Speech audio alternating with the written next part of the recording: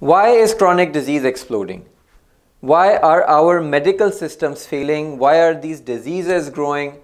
I want to talk to you about all of this in today's video. I think it's very important for you to learn about this because this failure might affect you or someone that is close to you.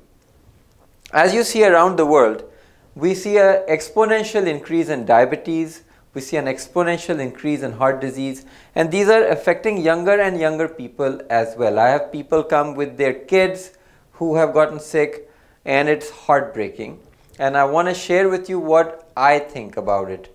Uh, I have read a lot of great books on the subject and I think this is the reason that makes the most sense. That being said, whatever you do, be responsible for your own medical decisions. My name is Junior Gupta.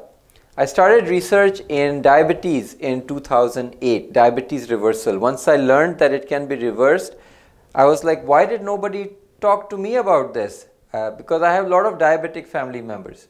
Along the way, I learned that you can also reverse cardiac disease and that you treat obesity as a hormonal disorder, not about eating too much. And I have taken this knowledge, I have presented at some of the top hospitals in India, at Medanta, at Max, at Fortis. I've presented at conferences, typically to the head of departments, the directors, the chairman, and um, I've helped a lot of people uh, feel and get better. Everything I present to you is research based. It's reading all the newest and best books out there, seminars, webinars, and cutting edge uh, science. So what I'm going to tell you is very different than what you'll hear from pharma companies which is going to be all around managing your medications and managing your symptoms. My talk is around reducing and removing medications and being free of disease. So stay tuned and watch this video.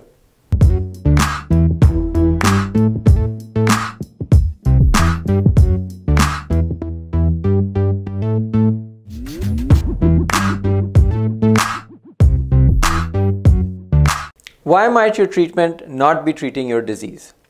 Now, what happens today when you get sick? You go to the doctor, the doctor prescribes some pills, maybe an injection, you go home and you start taking these pills.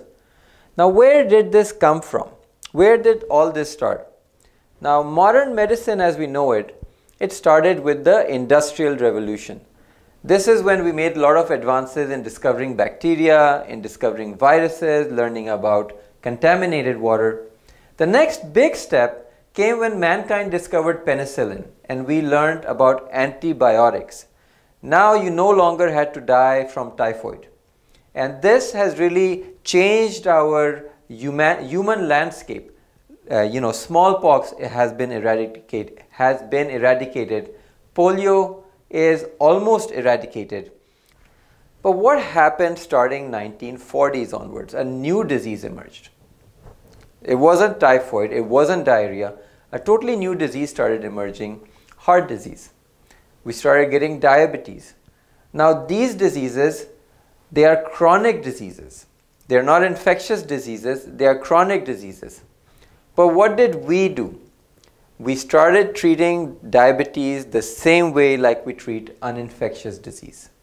We started making a pill for it. Chronic disease is not the same as an infectious disease. You don't drink contaminated water and get high blood pressure. You don't get food poisoning and get plaque in your arteries. And you don't get diabetes from some kind of a mosquito bite. These are not infectious diseases.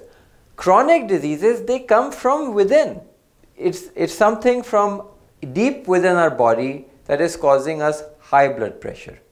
Something is there and it's not an infection of the pancreas. It's not a bacterial mold on the pancreas. Something is there that the pancreas are not able to help you manage your glucose and you have diabetes. So the chronic disease is totally different. But why is the doctor giving you pills for that? Because it's not going to go away like a, a, fever goes away. It's not like typhoid fever or dengue fever or some kind of other stomach infection your chronic disease is from deep within. So I want you to ask yourself, based on everything you know right now, Is this medical system treating your disease or is it treating your symptoms?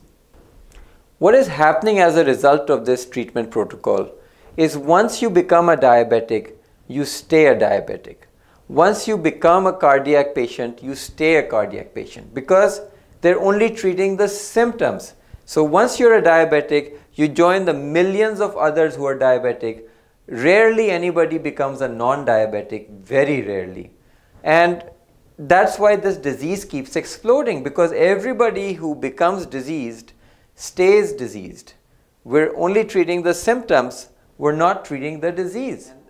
I came across uh, in one of my readings that fatty liver cannot be treated by modern medicine. So, all these hospitals across all the big cities of the world, if you have a fatty liver and you go to a hospital and you say, Doctor, I have a fatty liver, uh, they can just watch you get sicker and sicker and sicker, but they cannot treat it. They can basically just watch you die. And I asked the doctor this question. Dr. G, he is the head of department of nephrology at one of Delhi's top four hospitals. Big, massive building. I said, Dr. G, is it correct that you guys cannot treat a fatty liver? He said, Yes, Junior, we don't have a pill for that. So the whole medical system is around giving pills, whereas fatty liver is extremely easy to treat with natural systems, but there's no medicine for it. I want you to ask a question. If you have the courage and you have the friendliness with your doctor to ask this question, please don't offend the doctor. Ask the doctor in their 8 to 10 years of medical studying, how many years or how many how much did they study disease prevention?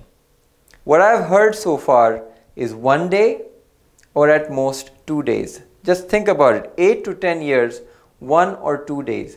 So it's not the doctor's fault. They're not trained for this. There is a foundational difference between how to treat a chronic disease and how to treat an infectious disease. I hope that I can help you choose a path where you are where you know where you are headed. You want to take pills and medications by all means please do it but understand that you are treating symptoms or whether you are treating the disease. If you like this video please hit like please give uh, please subscribe. If you liked what i do please comment. And of course if you want to know more about me uh, my details are in the description below